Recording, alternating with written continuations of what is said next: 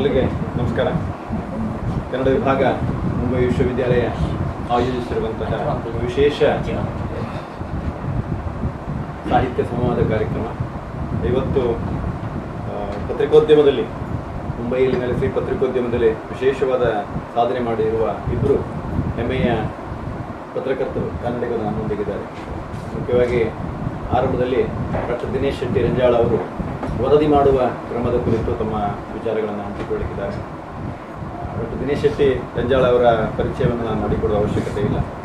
ಕಳೆದ ಹದಿನಾರು, ಹದಿನೇಳು ವರ್ಷಗಳಲ್ಲಿ ಅವರು ಮುಂಬೈಯಲ್ಲಿ ಹೆಸರು ಮಾಡಿದ್ದಾರೆ ನಮ್ಮಲ್ಲಿ ಒಂದು ಮಾತಿದೆ, ಇಟ್ಟ ಹೆಸರು ನಡೆಯೋದಿಲ್ಲ, ಹೆಸರು ಮಾಡಬೇಕು ಅಂತ. ಹೆಸರು ಮಾಡಬೇಕಾದ್ರೆ ಸಾಧನೆ ಮಾಡಬೇಕು, ಕ್ರಿಯಾಶೀಲತೆಯನ್ನು ಮೈಗೂಡಿಸ್ಕೊಳ್ಬೇಕು ಮುಂಬೈಗೆ ಬಂದು ಕನ್ನಡದಲ್ಲಿ ವಿಶೇಷವಾಗಿ ಸ್ನಾತಕೋತ್ತರ ಅಧ್ಯಯನವನ್ನು ಮಾಡಿ ಎಂ ಪ್ರಥಮ ರ್ಯಾಂಕ್ ಪಡೆದು ವರದರಾಜಾದ್ಯ ಚಿನ್ನದ ಪದಕವನ್ನು ಪಡೆದು ಬಳಿಕ ಉತ್ಕಾಲರ ಬದುಕು ಬರಹದ ಹಿನ್ನೆಲೆ ಗಿರಿಕುಂಜರೆ ಎನ್ನುವಂತಹ ಒಂದು ಎಂ ಫಿಲ್ ಸಂಪ್ರಬಂಧವನ್ನು ಅವರು ಪ್ರಕಟ ಮಾಡಿದಂಥ ಹಿರಿಮೆ ಅವರಿಗೆ ಸಲ್ಲುತ್ತೆ ಆಗ ತಾನೇ ಮಾತಾಡ್ತಾ ಇದ್ವಿ. ಒಂದು ಶತಮಾನದ ಕೃತಿಗಳು ಅಂತ ಮುಂಬಯಿಯ ಕೆಲವು ಕೃತಿಗಳನ್ನು ಪಟ್ಟಿ ಮಾಡಬಹುದಾದಂತಹ ಒಂದು ಆ ಪಟ್ಟಿಯಲ್ಲಿ ಅವರ ಮುಂಬೈ ಕನ್ನಡ ಪತ್ರಿಕೋದ್ಯಮ ಎನ್ನುವಂತಹ ಒಂದು ಮಹಾಪ್ರಬಂಧ ಸಹ ಅದು ಸೇರ್ಪಡೆಯಾಗಿದೆ. ಒಂದು ರೀತಿಯಲ್ಲಿ ನಾವು ಅಭಿಮಾನ ಪಡೋದು ನಮ್ಮ ವಿಭಾಗದ ವಿದ್ಯಾರ್ಥಿಗಳು ಇವತ್ತು ಪತ್ರಿಕೋದ್ಯಮದಲ್ಲೂ ದೊಡ್ಡ ಪ್ರಮಾಣದಲ್ಲಿ ಕೆಲಸವನ್ನು ಮಾಡ್ತಾ ಇದ್ದಾರೆ. ಬಶೀರ್ ಆಗಿರ್ಬೋದು ತಮ್ಮ ಹೆಸರು ಹೇಳಿದೆ ಅಷ್ಟೇ. ಅನೇಕರು ಉದಯ ಆಗಿರ್ಬೋದು, ಬೇರೆ ಬೇರೆ ಕಡೆಗಳಲ್ಲಿ ಸೋಮಶೇಖರ್ ಅಂತ ಹೇಳಿ ಪತ್ರಿಕೋದ್ಯಮದಲ್ಲಿದ್ದರು. ಬೇರೆ ಬೇರೆಯವರು ಪತ್ರಿಕೋದ್ಯಮದಲ್ಲಿ, ಅದು ಕರ್ನಾಟಕವಲ್ಲಾಗಿರ್ಬೋದು ಉದಯವಾಣಿ ಆಗಿರ್ಬೋದು, ಬೇರೆ ಬೇರೆ ಕರ್ನಾಟಕದ ಪತ್ರಿಕೆಗಳಿಗೆ ಪತ್ರಿಕೆಗಳಲ್ಲಿ ಪೂರ್ಣಕಾಲೀನ ಪತ್ರಕರ್ತರಾಗಿ ಸಾಹಿತ್ಯದ ಒಂದು ಕನ್ನಡದ ಕೈಂಕರ್ಯವನ್ನು, ಸಾಹಿತ್ಯದ ಜೊತೆ ಜೊತೆಗೆ ಕನ್ನಡದ ಕೈಂಕರ್ಯವನ್ನು ಅವರೇ, ಅವರದೇ ಅಂತಹ ಅಂಕಣ ಪುಸ್ತಕ ಸಹ ಈಗಾಗಲೇ ಪ್ರಕಟವಾಗಿದೆ. ಮುಂಬಯಿಯ ಉದಯವಾಣಿ ಆವೃತ್ತಿಯಲ್ಲಿ ಹಿರಿಯ ಒಬ್ಬ ಸಂಪಾದಕರಾಗಿ ಅವರು ಕಳೆದ ಅನೇಕ ವರ್ಷಗಳಿಂದ ಕಾರ್ಯನಿರ್ವಹಿಸ್ತಾ ಇದ್ದಾರೆ. ಅವರನ್ನು ವಿಭಾಗದ ಪರವಾಗಿ ಪ್ರೀತಿಯಿಂದ ಸ್ವಾಗತಿಸಿ ಒಂದು ತಿರು ಕಾಣಿಕೆಯನ್ನು ಕೊಡುವ ಒಂದು ಕೆಲಸ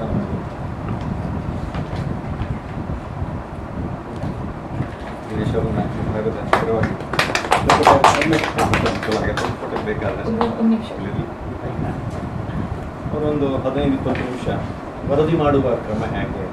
ವರದಿಯನ್ನು ಯಾಕೆ ಮಾಡಬೇಕು? ವರದಿ ಮಾಡುವ ಕ್ರಮ ಹೇಗೆ? ವರದಿಯ ವೈಶಿಷ್ಟ್ಯ ಏನು ವರದಿ ಮಾಡುವುದು ಸಾಮಾನ್ಯದ ಕೆಲಸ ಅಲ್ಲ ಅಂತ. ಅದನ್ನು ಎಲ್ಲ ವಿದ್ಯಮಾನಗಳನ್ನು ಕ್ರೋಢೀಕರಿಸಿ ಅದನ್ನು ಅತ್ಯಂತ ಅರ್ಥವತ್ತಾಗಿ ಅದನ್ನು ಹೇಳುವಂತಹ ಒಂದು ಕಲೆ ಅಂತ. ವರದಿ ಮಾಡೋದು ಒಂದು ಕಲೆ. ಎಲ್ಲರಿಗೂ ವರದಿ ಮಾಡಲಿಕ್ಕೆ ಆಗೋದಿಲ್ಲ. ಹಾಗಾಗಿ ಲೇಖನವನ್ನು ಬರೆಯೋದಕ್ಕೆ ಅದಕ್ಕೆ ಪೂರಕ ಅಂತ ನಾನು ಆ ದೃಷ್ಟಿಯಿಂದ ನಮ್ಮ ವಿದ್ಯಾರ್ಥಿಗಳು ಸಹ ಇವತ್ತಿಗೂ ನೆನಪಾಗ್ತದೆ ಕೃಷಿ ಮಾಡೋದ್ರಲ್ಲಿ ಎತ್ತಿದ ಕೈ ಅಂತ ಹೇಳಿದ್ರು ಅವರು ನಮ್ಮ ಹೆಸರನ್ನು. ಹೆಸರು ಹೇಳಿದರೆ ಹೆಸರು ಹೆಸರಾಗ್ಬೋದು ಹಾಗೇನಿಲ್ಲ.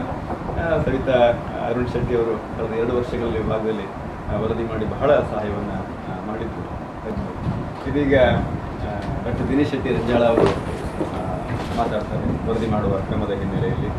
ಆ ಬಳಿಕ ನಾನು ಗೆಳೆಯ ಕರ್ನಾಟಕ ಮಲದ ಮುಖಾಂತರವಾಗಿ ಮುಂಬೈಯಲ್ಲಿ ಮುಂಬಯಿಯಲ್ಲಿ ನೆಲೆಸಿ ಕಳೆದ ನಾಲ್ಕು ದಶಕಗಳಲ್ಲಿ ಕರ್ನಾಟಕದಲ್ಲಿ ಮನೆ ಮಾತಾದಂತಹ ಕಥೆಗಾರ ಬಹುಮುಖಿ ನೆಲೆಯಲ್ಲಿ ಒಂದು ಸಣ್ಣ ಮಟ್ಟಿಗೆ ಹೇಳೋದಾದ್ರೆ ನಾವು ಸವ್ಯಸಾಚಿ ಅಂತೇಳಿ ಯಾಕಂದ್ರೆ ಕಾವ್ಯ ಇದೆ ಕಥೆ ಇದೆ ಕಾದಂಬರಿ ಬರಿಬೇಕಷ್ಟೇ ಅದು ಬರ್ತಾರೆ ಬೇರೆ ಬೇರೆ ಇದರಲ್ಲಿ ಅದು ಪ್ರವಾಸ ಸಾಹಿತ್ಯ ಆಗಿದ್ದಿರಬಹುದು ಬಹುಮುಖಿ ನೆಲೆಯಲ್ಲಿ ಕನ್ನಡ ಸಾಹಿತ್ಯವನ್ನು ಅವರು ಬೆಳೆಸಿದರು ಮುಂಬೈಯಲ್ಲಿ.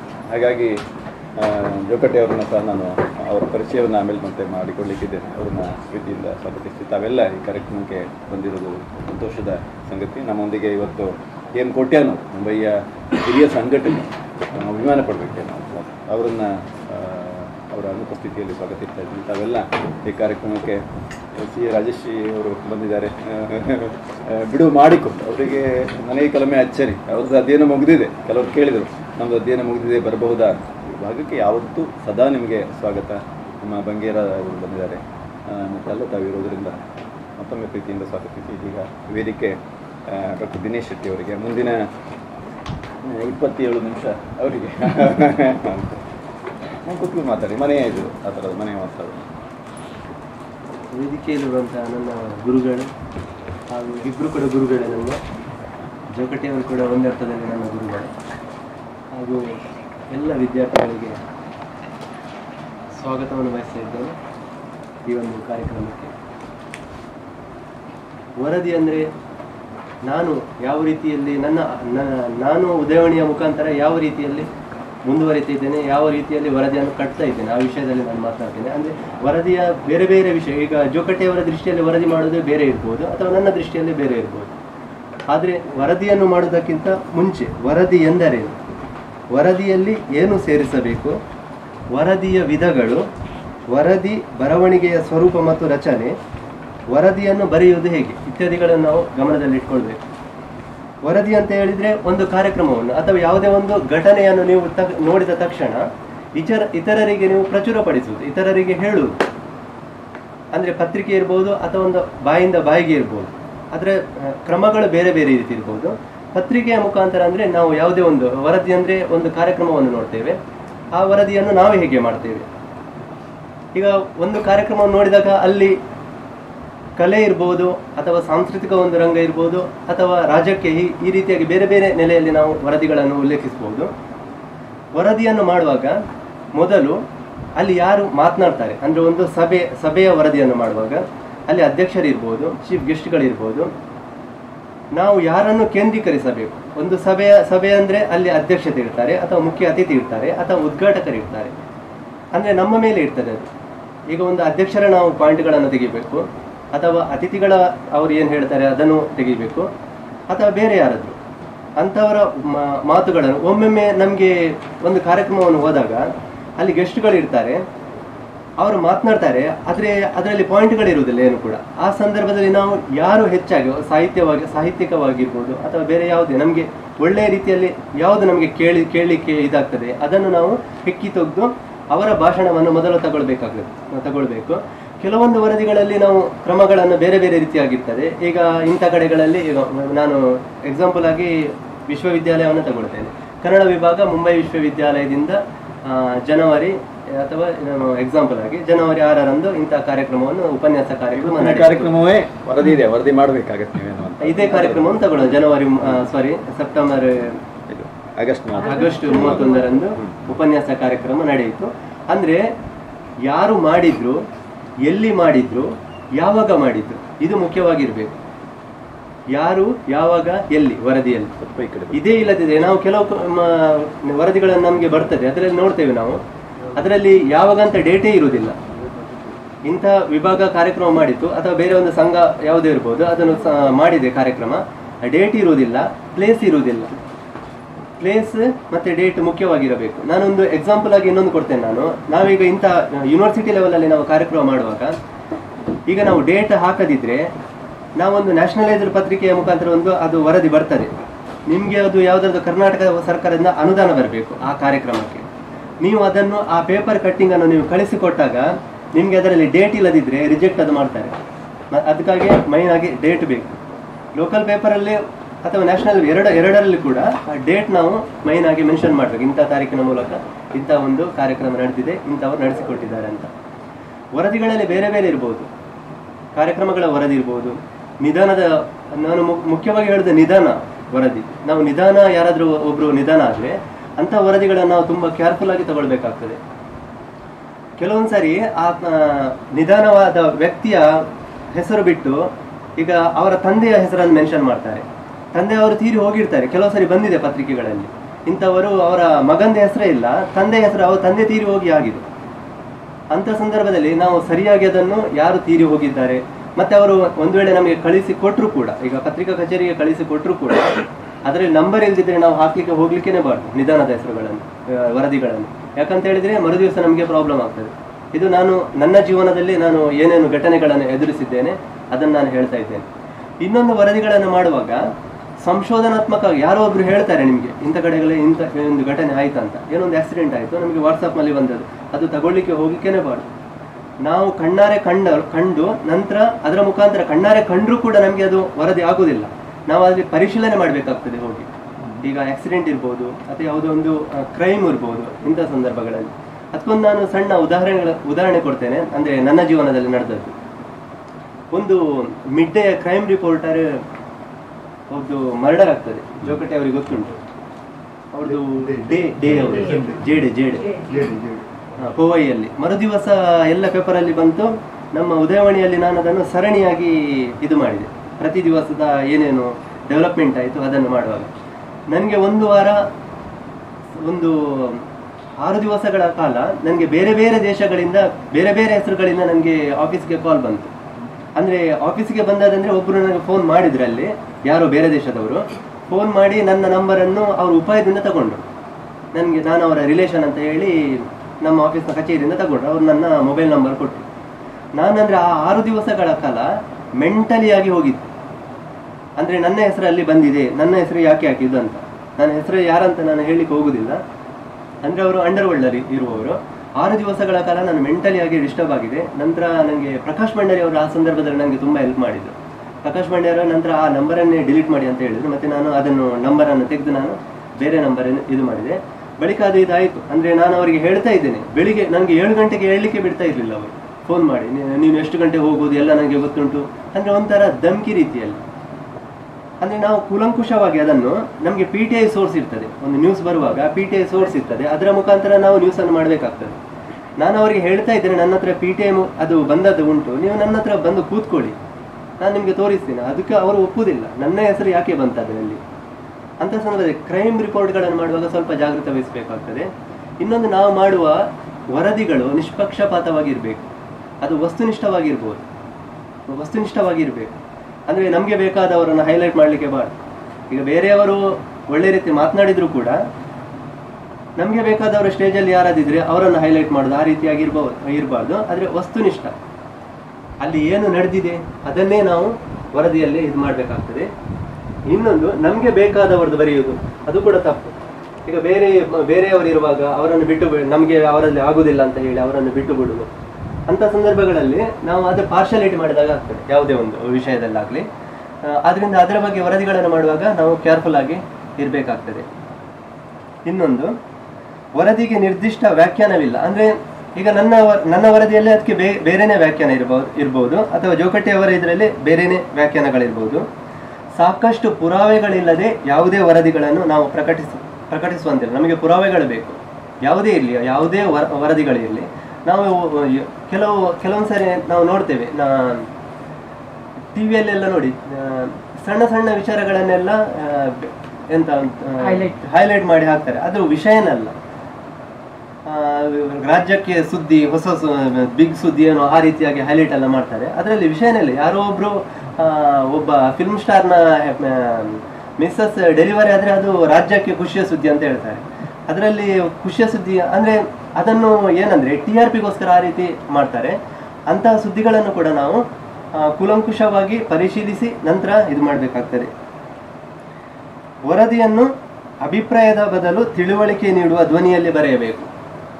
ಅಂದ್ರೆ ನನ್ನ ಅಭಿಪ್ರಾಯದಲ್ಲಿ ನಾನು ಈಗ ಒಬ್ರು ಮಾತನಾಡ್ತಾರೆ. ಅವರು ಮಾತನಾಡುವಾಗ ಶಬ್ದಗಳ ಬಳಕೆ ನಮಗೆ ಅರ್ಥ ಆಗದೇ ಇರುವಂತೆ ಇರ್- ಇರ್ತದೆ ಕೆಲವರು ಮಾತನಾಡುವಾಗ. ಅದನ್ನು ನಾವು ಇನ್ನೊಬ್ಬರಿಗೆ ತಲುಪಿಸುವಾಗ, ವರದಿಯನ್ನು ಮಾಡುವಾಗ ಅವರಿಗೆ ಅರ್ಥ ಆಗುವ ರೀತಿಯಲ್ಲಿ ನಾವು ಬರಿಬೇಕಾಗ್ತದೆ. ಇನ್ನೊಂದು ಕೆಲವರು ಮಾತನಾಡ್ತಾರೆ, ಒಂದು ಅರ್ಧ ಗಂಟೆ ಮಾತನಾಡಿದ್ದಾರೆ ಮಾತನಾಡಿದ್ರೆ ಅದ ಎಲ್ಲವನ್ನು ನಾವು ಬರಲಿಕ್ಕೆ ಹೋಗಬಾರ್ದು. ಈಗ ನೋಡಿ ಪೇಜ್ ಗಟ್ಟಲೆ ಎಲ್ಲ ಪೇಪರಲ್ಲಿ ಬರ್ತದೆ ಬರ್ತದೆ, ವರದಿ, ಚಿತ್ರ ವರದಿ ಅಂತ ಎಲ್ಲವನ್ನು ಬರ್ತದಲ್ವ? ಅದನ್ನು ಯಾರು ಕೂಡ ಓದುದಿಲ್ಲ. ನೀವು ನೋಡಬೇಕಾದ್ರೆ ಒಂದು ಪೇಜ್ ಬರ್ತದೆ, ಅರ್ಧ ಪೇಜ್ ಬರ್ತದೆ. ಅಲ್ಲಿ ಪ್ರೋಗ್ರಾಮ್ ಮಾಡುವವರು ಕೂಡ ಓದುದಿಲ್ಲ ಅದನ್ನು. ಅವ್ರ ಫೋಟೋವನ್ನು ನೋಡ್ತಾರೆ. ಮತ್ತೆ ಅವರೇನಾದ್ರೂ ಮಾತನಾಡಿದರೆ ಅದನ್ನು ಹುಡುಕ್ತಾರೆ ಬರೆದಿದ್ದಾರೆ ಅಂತ ಬೇರೆ ಯಾರು ಕೂಡ ಓದ್ಲಿಕ್ಕೆ ಹೋಗುದಿಲ್ಲ. ಇಲ್ಲಿ ನೀವು ಎಷ್ಟು ಶಾರ್ಟ್ ಅಂಡ್ ಸ್ವೀಟ್ ಆಗಿ ಬರೀತೀರಾ, ಅದನ್ನು ಮಾತ್ರ ಹೆಕ್ಕಿ ತೆಗಿತಾರೆ ಜನಗಳು. ಮತ್ತೆ ಫೋಟೋ ಕೂಡ, ಇದ್ದ ಬದ್ದದನ್ನೆಲ್ಲ ಹಾಕುದು. ಇದು ಪತ್ರಿಕೋದ್ಯಮಕ್ಕೆ ನನ್ನ ಪ್ರಕಾರ ಒಂದು ಒಂದು ಕೆಳಮಟ್ಟಕ್ಕೆ ಹೋಗ್ತದಂತ ನನ್ನ ಅನು, ಇದು ಅನುಭವದ ಮಾತು ಕೂಡ ನಾನು ಹೇಳಲಿಕ್ಕೆ ಬಯಸ್ತೇನೆ. ಅಂದ್ರೆ ಪತ್ರಿಕೆಯ ಗುಣಮಟ್ಟವನ್ನು ನಾವು ಮೊದಲು ಯೋಚಿಸಿಕೊಂಡು, ನಂತರ ವರದಿಗಳನ್ನು ಪ್ರಕಟಿಸಬೇಕಾಗ್ತದೆ. ಇಲ್ಲಿ ಜೋಕಟ್ಟಿಯವರು ಇದ್ದಾರೆ, ಅವರಿಗೂ ಕೂಡ ಅನುಭವ ಉಂಟು. ಓದುಗರಿಗೆ ಎಣಿಸಬಾರ್ದು, ಯಾವಾಗ ಮುಗಿಯುತ್ತದೆ ಅಂತ. ಈಗ ನೋಡಿ, ಇಲ್ಲಿ ಬ್ಯುಸಿ ಇರ್ತಾರೆ ಎಲ್ಲರೂ. ನಾವು ಟ್ರೈನಲ್ಲಿ ಹೋಗ್ತೇವೆ. ಹೆಚ್ಚಿನವರಿಗೆ ಟ್ರೈನಲ್ಲೇ ಸಮಯ ಸಿಗುವುದು. ಈಗ ನನಗೆ ಕೂಡ. ನಾನೇನಾದ್ರೂ ಬರೀ ಬರೆಯುವುದಾದ್ರೆ ನಾನು ಟ್ರೈನಲ್ಲೇ ಇದು ನೋಟ್ ಅಂತ ಒಂದು ಮೊಬೈಲಲ್ಲಿ ಉಂಟು. ಅದರಲ್ಲಿ ನಾನು ಆರ್ಟಿಕಲ್ ಮಾಡ್ತಾ ಹೋಗ್ತೇನೆ ಮನೆಯಲ್ಲಿ ಅಥವಾ ಆಫೀಸ್ನಲ್ಲಿ ಇದು ಸಮಯ ಸಿಗುವುದಿಲ್ಲ. ಪೇಪರ್ ಕೂಡ ಓದು. ಹಿಂದೆ ನೋಡಿ ನಾವು ತುಂಬಾ ಮಂದಿ ಪೇಪರ್ ಓದು ಟ್ರೈನಲ್ಲೇ ನೋಡ್ತಾ ಇದ್ದೇವೆ. ಈಗ ಯಾರು ಕೂಡ ಪೇಪರ್ ಹಿಡಿಯುವುದಿಲ್ಲ ನಾವೊಂದು ಮೊಬೈಲ್, ಎಲ್ಲರ ಹತ್ರ ಮೊಬೈಲ್ ಇರ್ತದೆ, ಒಂದು ಲೆಕ್ಕ ಮಾಡಿದ್ರೆ ಒಂದು ಇಬ್ರು ಪೇಪರ್ ಓದ್ತಾ ಇರ್ತಾರೆ, ನಾನು ನೋಡಿದ ಮಟ್ಟಿಗೆ. ಅದು ಕೂಡ ಅಪರೂಪ, ಹೌದು. ಒಂದು ಕೂಡ ಅದರಲ್ಲೂ ಕೂಡ ಈ ಕರ್ನಾಟಕ ಮಲ್ಲ ಉದಯವಾಣಿಯಲ್ಲಿ ಅದನ್ನು ನಾವು ಕಂಡ್ರೆ ನಮಗೆ ತುಂಬಾ ಆಶ್ಚರ್ಯ ಆಗ್ತದೆ, ಇವ್ರು ಯಾರಪ್ಪ ಅಂತ. ಆದ್ರಿಂದ ನಾವು ನೀಡುವಂತ ವರದಿಗಳು ಶಾರ್ಟ್ ಹ್ಯಾಂಡ್ಸ್ ಏನು ಅವರು ಹೇಳಿದರೆ ಈಗ ಅವರು ಹತ್ತು ಶಬ್ದ ಹೇಳ್ಬೋದು, ಅದನ್ನು ಒಂದು ಶಬ್ದದಲ್ಲಿ ನಾವು ಬರಿಬೇಕಾಗ್ತದೆ.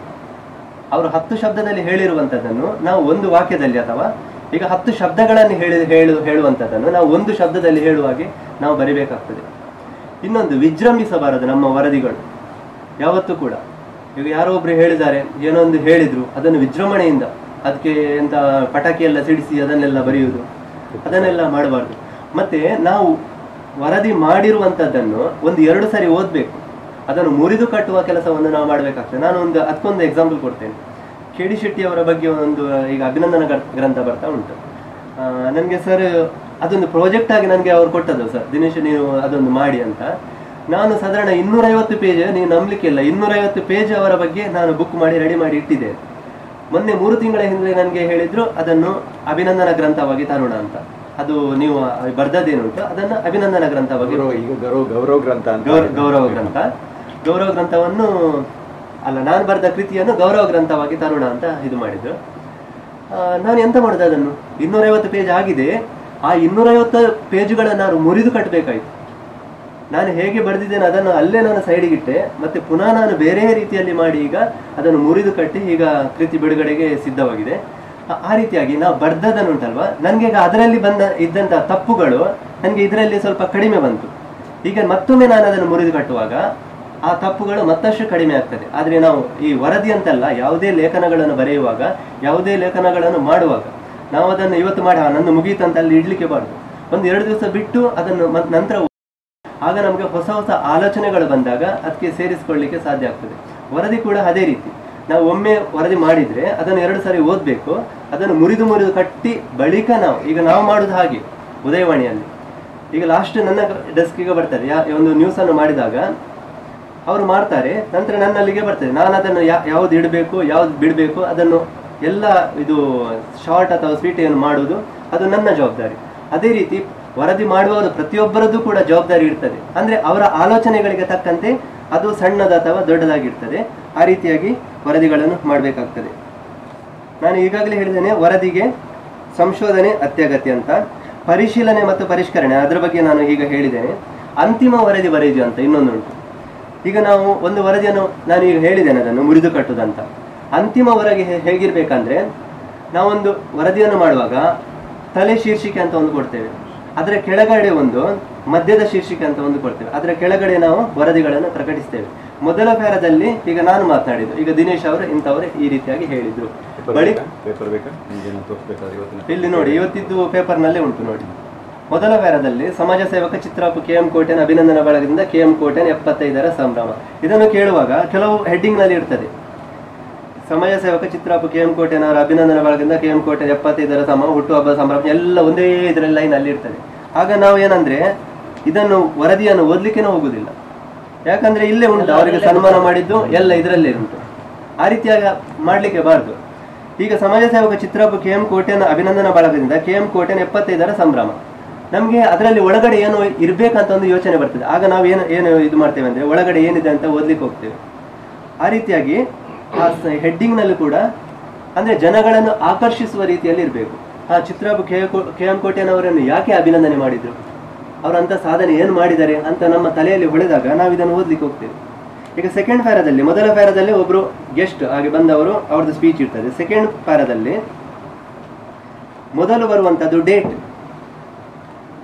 ಈಗ ಆಗಸ್ಟ್ ಮೂವತ್ತೊಂದರಂದು ನಂತರ ಬರುವಂತದ್ದು ಪ್ಲೇಸ್ ಮೀರಾಬಾಯಿ ಎಂದರೆ ಸೈಂಟ್ ಆಗ್ನೆಸ್ ಹೈಸ್ಕೂಲ್ ಹಾಲ್ನಲ್ಲಿ ನಂತರ ಬರುವಂತದ್ದು ಯಾರು ಮಾಡಿದ್ದು?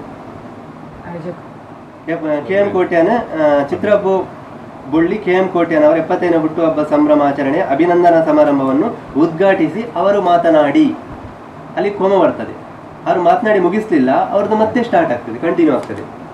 ಅದು ಎಂಡ್ ಆಗ್ತದೆ. ನೆಕ್ಸ್ಟ್ ನಾವು ತಗೊಳ್ಳುವಂಥದ್ದು ಇನ್ನೊಬ್ಬರ ಸ್ಪೀಚನ್ನು ಮತ್ತೆ ನಮಗೆ ಬೇರೆ ಯಾರಾದರೂ ಒಳ್ಳೆ ರೀತಿ, ಈಗ ಸರ್ ಎಲ್ಲಿಯಾದರೂ ಪ್ರೋಗ್ರಾಮ್ಗೆ ಹೋದರೆ ಸಾಹಿತ್ಯಿಕವಾಗಿ ಮಾತನಾಡ್ತಾರೆ. ನಾನು, ನೀವು ನೋಡಿರ್ಬೋದು ಉದಾಹರಣೆಯಲ್ಲಿ ನಾನು ಸರ್ನ ಸ್ಪೀಚ್ಗಳನ್ನು ಬಾಕ್ಸಲ್ಲಿ ಹಾಕ್ತೇನೆ. ಯಾಕಂತ ಹೇಳಿದ್ರೆ ಸಾಹಿತ್ಯಿಕ, ಸಾಹಿತ್ಯಿಕವಾಗಿರ್ತದೆ ಓದುವಂಥ ಒಂದು ಅದರಲ್ಲಿ ಮೆಸೇಜ್ ಇರ್ತದೆ. ಅಂಥ ಒಂದು ಯಾರಾದರೂ ಒಳ್ಳೆಯ ಸ್ಪೀಚ್ಗಳು ನೀಡಿದರೆ ಅಥವಾ ಭಾಷಣಗಳನ್ನು ಮಾಡಿದರೆ, ಅವರನ್ನು ಬಾಕ್ಸ್ ಬಾಕ್ಸ್ ಮುಖಾಂತರ ನಾವು ಹಾಕ್ತೇವೆ. ಈಗ ನೋಡಿ, ಇದರಲ್ಲಿ ನಾನು ಕೆ ಎಂ ಕೋಟೆನವರು ಇದನ್ನು ಹಾಕಿದ್ದೇವೆ. ಯಾಕಂತ ಹೇಳಿದ್ರೆ ಅವರು ಸನ್ಮಾನ ಸ್ವೀಕರಿಸಿದವರು. ಅವರ ಅನುಭವದ ಮಾತುಗಳನ್ನು ಹೇಳಿ ಹೇಳಿದವರು, ಆ, ಅದು ಇಲ್ಲಿ ಉಂಟು.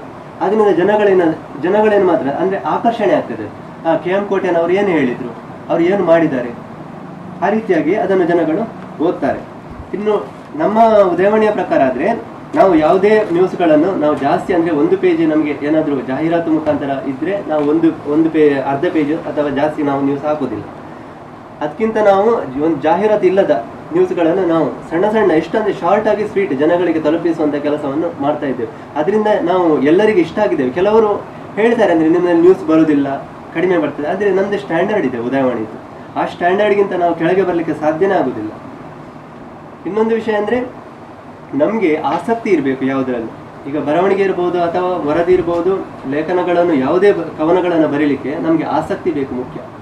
ಮನುಷ್ಯನಿಗೆ ನಾವು ಬರವಣಿಗೆ ನಮ್ಮನ್ನು ಪರಿಪೂರ್ಣನನ್ನಾಗಿಸ್ತಾರೆ ಓದು ನಮ್ಮನ್ನು ಬರವಣಿಗೆ ನಮ್ಮನ್ನು ಪೂರ್ಣನನ್ನಾಗಿಸ್ತಾರೆ ಓದು ನಮ್ಮನ್ನು ಪರಿಪೂರ್ಣನನ್ನಾಗಿಸ್ತದೆ ಒಂದು ಮಾತು ನಾನು ಹಿಂದಿನಿಂದಲೂ ನನ್ನ ಜೀವನದಲ್ಲಿ ಅಳವಡಿಸಿಕೊಂಡದ್ದು. ಆದ್ರಿಂದ ನಿಮಗೆ ಓದು ಸಿಗುವಂಥದ್ದು ವಿಶ್ವವಿದ್ಯಾಲಯದಲ್ಲಿ ಮಾತ್ರ. ನೀವು ಇದರಿಂದ ಹೊರಗಡೆ ಹೋದಾಗ, ನಮಗೆ ಅಂದ್ರೆ ಬೇರೆ ಬೇರೆ ಕೆಲಸದಲ್ಲಿ ನಾವು ಇನ್ವಾಲ್ ಆದಾಗ, ನಮಗೆ ಆ ಓದುವ ಒಂದು ಕೊಂಡಿ ಇದು ಹೋಗ್ತದೆ, ಬಿಚ್ಚಿ ಹೋಗ್ತದೆ. ಆದ್ರೆ ಇಲ್ಲಿ ನಾವು ಉಂಟಲ್ವಾ? ನಮಗೆ ಎಷ್ಟು ಓದ್ಲಿಕ್ಕೆ ಆಗ್ತದೆ ನಮಗೆ ಸರ್ ವಾರದಲ್ಲಿ ಒಂದು ಮೂರು ನಾಲ್ಕು ಕಾದಂಬರಿ ಓದಿಸ್ತಾ ಇದ್ದೆ ನಿಮಗೆ ನಮಗೆ ಗೊತ್ತಿಲ್ಲ. ನಾವೊಂದು ವರ್ಷದಲ್ಲಿ ಒಂದು ಅರವತ್ತು ಕಾದಂಬರಿ ಓದಿದ್ದೇವೆ. ಒಂದು ವರ್ಷದಲ್ಲಿ. ಅದಂತೂ ಪಕ್ಕ. ಅದು ಕೂಡ ನಾವು ಹೇಳದೆ ಕೇಳ ಹೇಳುದು ಕೇಳದೆ ಇರು ಇರುವಂತದ ಯಾರು ಮಾಧವಿ ಒಂದು ಕಾದಂಬರಿ ಸರ್ ನನ್ನ ಹತ್ರ ಓದಿಸಿದ್ರು. ಅನುಪಮ ನಿರಂಜನ್ ಅವರ. ಅದರ ಬಗ್ಗೆ ನನ್ನ ಹತ್ರ ನನಗೆ ತುಂಬ ನೆನಪಿದೆ ಈಗಲೂ ಕೂಡ. ಅದರ ಬಗ್ಗೆ ಬರೆದದ್ದು. ಅದನ್ನು ಓದುವಾಗ ಉಂಟಲ್ಲ ಓದಿ ಒಂದು. ಆ ಕಾದಂಬರಿ ಎಲ್ಲಿಯಾದ್ರೂ ಸಿಕ್ಕಿದ್ರೆ ಓದಿ. ಮಾಧವಿ ಅಂತ ವಧು ಮಾಧವಿ. ಸರಲ್ವಾ ವಧು ಮಾಧವಿ ಅಂತ. ತುಂಬಾ ಚೆನ್ನಾಗಿದೆ. ಕಾದಂಬರಿ. ನನ್ನ ಮೊದಲ ಕಾದಂಬರಿ ಅದು. ಸರ್ ನನ್ನ ಹತ್ರ ಓದಿಸಿದ ಮೊದಲ ಕಾದಂಬರಿ. ಅದರ ಬಗ್ಗೆ ನಾನೊಂದು ವಿಮರ್ಶೆಯನ್ನು ಬರೆದಿದ್ದೇನೆ. ಸರ್, ಆಗ ಸರಿಗೆ ಖುಷಿಯಾಗಿತ್ತು. ಅಂದರೆ ನಮಗೆ ಗೈಡೆನ್ಸ್ ಮಾಡೋರು ಇರುವುದಿಲ್ಲ. ಆ ಸರ್ ಹೇಳಿದ ಹಾಗೆ ನಾವು ಅವರ ಮುಖಾಂತರ ನಾವು ಹೋದರೆ ಖಂಡಿತವಾಗಿ ಜೀವನದಲ್ಲಿ ಸಫಲತೆಯನ್ನು ಕಾಣಲು ಸಾಧ್ಯವಿದೆ. ನಮ್ಮ ಇದರಲ್ಲಿ ನಿಮಗೆ ಈಗ ನನಗೆ ಗೊತ್ತಿಲ್ಲ. ನಾವು ಮಾಡುವಾಗ ಎಂ ಎ ಮಾಡ್ತಾ ಇರುವಾಗ ನಮಗೆ ಬರವಣಿಗೆ ಅಂದ್ರೆ ನೋಟ್ಸ್ ಅಂದ್ರೆ ನಮ್ದು ಒಂದು ಇಪ್ಪತ್ತು ಪುಟ ಆಗ್ತಾ ಇತ್ತು.